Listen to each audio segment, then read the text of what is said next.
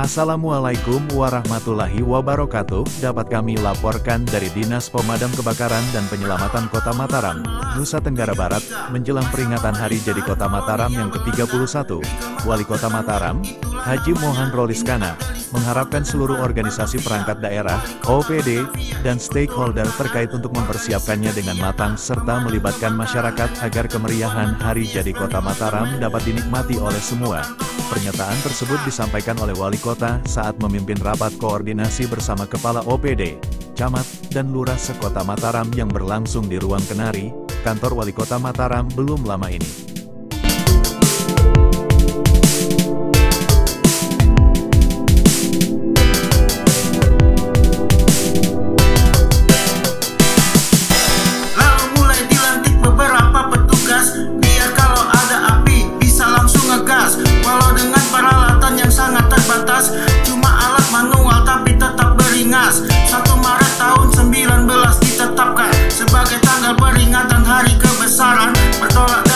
Usia kota Mataram yang bertambah dewasa, pada tahun 2024 ini, yaitu 31 tahun, kota Mataram terus semakin harum sebagaimana moto kota Mataram, dalam melayani masyarakat dengan diterbitkannya Perda nomor 5 tahun 2023 tentang organisasi perangkat daerah, di mana salah satunya adalah Dinas Pemadam Kebakaran, di mana nomenklaturnya menjadi Dinas Pemadam Kebakaran dan Penyelamatan, yang disingkat Damkarmat.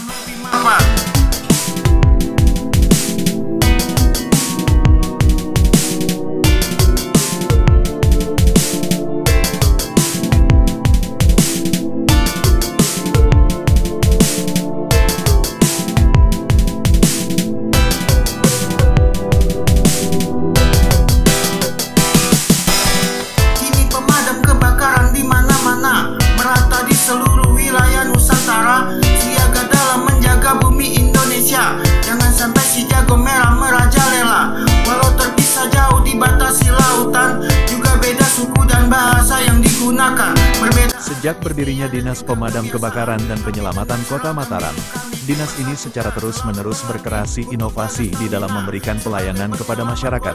Seperti pada tahun ke-31 Kota Mataram ini, berbagai kegiatan dilakukan termasuk yang berhubungan dengan tugas pokok Dinas Pemadam Kebakaran dan Penyelamatan serta kegiatan sosial dan kegiatan kemanusiaan lainnya. tak berarti jadi loyo, gelisah tak membuat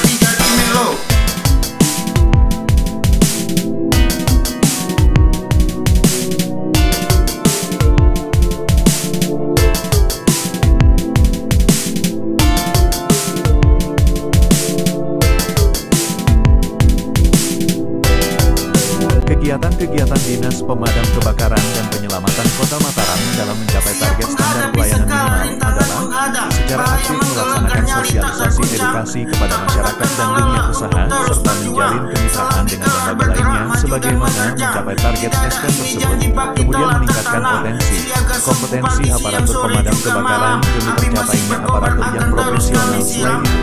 Dinas Pemadam Kebakaran dan Penyelamatan Kota Mataram untuk mencapai sarana dan prasarananya secara reguler dan ekstra meningkatkan koordinasi-koordinasi dengan pihak terkait.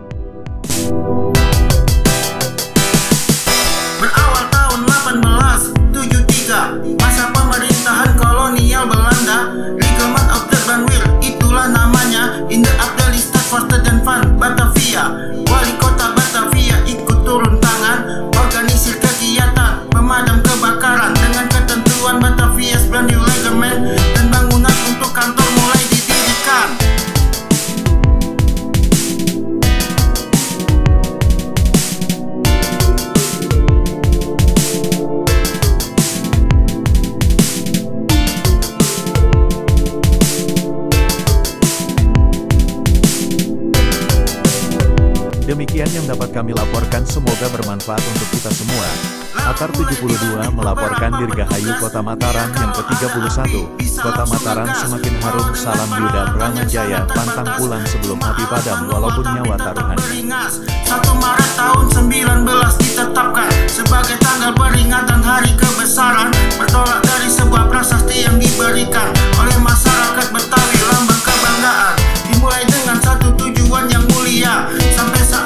commitment